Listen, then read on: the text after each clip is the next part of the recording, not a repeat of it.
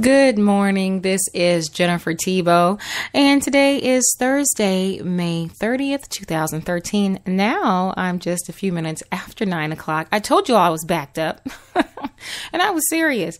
I had some things that I've been writing down that I said I wanted to record, but I wanted to be in a really good space um, and quiet and all that great stuff so I could record. So here I am again, and you bet your bottom dollar. Here I go, with my gambling references again that I'll have more to do uh, today as well. But I wanted to talk on the topic of stop being gray. So what does that mean? Well, it has nothing to do with gray hair, which I have a couple, couple, three, four, maybe 20, 25 on my head now. Has nothing to do with hair. It has to do with being decisive. Um, I'm relating this in particular to the topic of uh, corporate diversity, workplace diversity. And why do I use a kind of more of a non-color term to then attach with diversity? Well, as many people know, I have been uh, I've been working in the area of diversity for quite some time, uh, both as being kind of a hired gun to pr- offer diversity intelligence to organizations privately and then sometimes publicly too, but also just as a personal um, kind of give back to the corporate world from a, a talent, you know, that dangerous word, talent, finding great talent uh, standpoint as well. So it's kind of a personal hobby and a love of mine, as well as it's been a career focus for me. So when I talk about, um, you know, what that potentially uh, what that could look like. And, uh, you know, when we talk about what does being gray mean? Well, I sit down and I read a lot about how organizations define diversity. If you want to just have fun, you know, giggles and grins, this is kind of stuff I do um, in the middle of the night on a Saturday night. Uh, some people go on dates. I look at corporate organizations' diversity statements. If you read the statements, all I can say is once I've read it is blah, blah, blah. Most organizations, because they're trying to be so broad so broad that it just becomes this blanket gray statement that really means nothing, that doesn't tell me anything. Um, and so it's nice to try to be as inclusive as you can in your statement and tell me diversity is everywhere and it's everything. That's true, but for the purpose of what you need diversity to, to be for your organization, you got to stop being gray. You got to define it. You want to know why? Like any initiative when you define it very loosely, very broadly, and don't take the time to be specific, guess what else happens? Any campaign that's focused on helping that initiative will, will go in every direction under the sun, including the people that you hire to really carry that initiative into, you know, these positive results. If you're telling them um, well, we, we want to be very careful. Why do you want to be very careful with how you define diversity? It's a personal choice uh, for every organization. I say personal from an organization standpoint. It's your choice and exactly how you choose to define diversity. So define it. Stop copying and pasting from other people, from other companies that are just as gray, and put out your same gray statement that doesn't say anything. A diversity statement, if you think about it, should be a, a an, an opportunity to attract people, whether it's your customers, your buyers, sellers, vendors, stakeholders, stockholders. It should be something that is attractive, not something that makes me say, What? What did they just say? Or did they really say anything? So if you're not, if your statement's not saying much, what does that mean about the initiatives that are going to come from that statement? That definition should be so clear that it that that what stems from it, what stems from it is everything else that you're interested in doing. Think about your diversity definition or statement as truly that seed that grows that, that you put into the ground. Now my my grandparents were farmers. So I know a little bit about planting and creating things that grow and feed not only a family, but you know, feed a community. My, my grandparents were very successful farmers. But the most important thing about farming is to plant the right seed. And that comes with definition. Imagine if they wanted to feed people, but they didn't really, you know, focus on what they put in the ground. Imagine that. What do you think they're going to get? Who knows?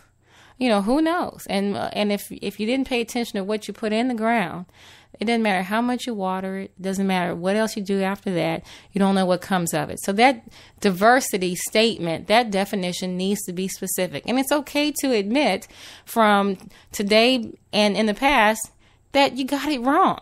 That's okay. But it's not okay to say from today moving forward that you're going to continue to get it wrong. That's not okay. That's actually extremely unacceptable to me.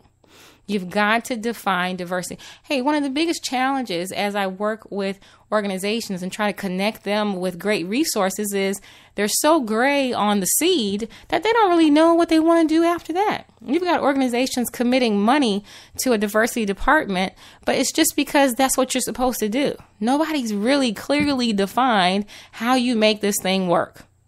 And it's very evident in how you see that organizations come up with their diversity sh- structure.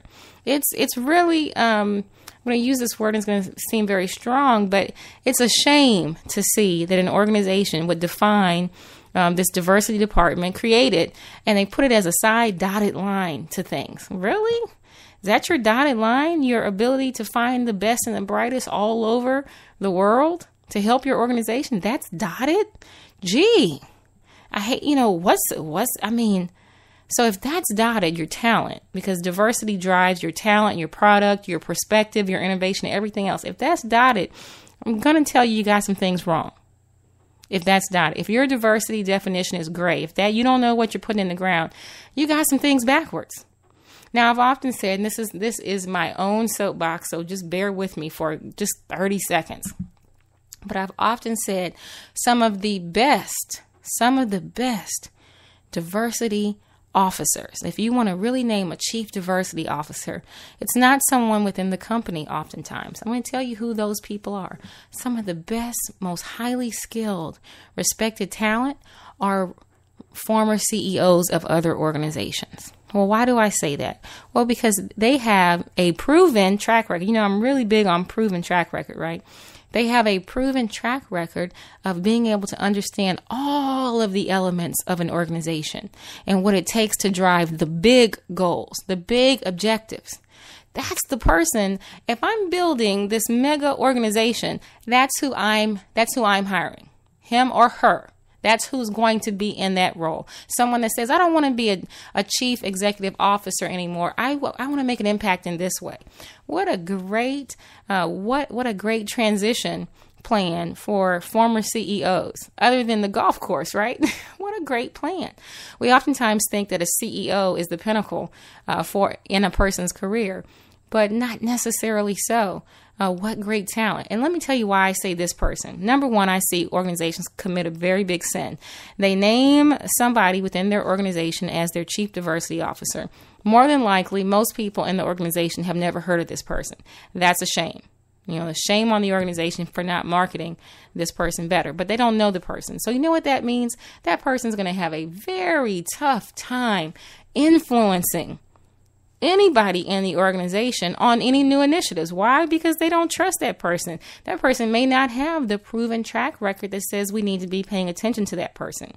Uh, one one organization in particular, large large organization, thousands and thousands of employees, global organization.